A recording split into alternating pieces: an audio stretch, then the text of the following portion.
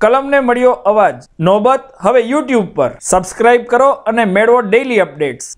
નમસ્કાર. આજે સત્યાવીસ ઓગસ્ટ, મંગળવાર. નોબત ન્યૂઝ ફ્લેશમાં હું પ્રતિક શુક્લ.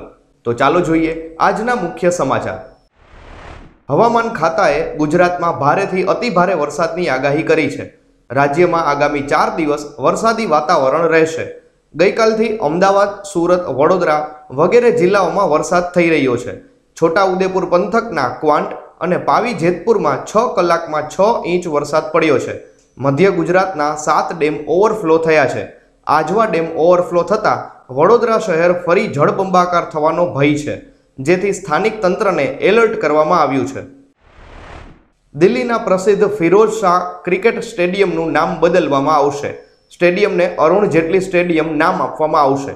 પૂર્વ નાણામંત્રી અરુણ જેટલીને શ્રદ્ધાંજલિ રૂપે આ નિર્ણય લેવામાં આવ્યો છે.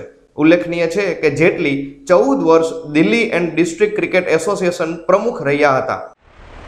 જામનગરના મહિલા કોર્પોરેટર મરિયમબેન ખફીના પુત્ર અનવર વિરુદ્ધ અનેક ગુનાઓ નોંધાયા છે.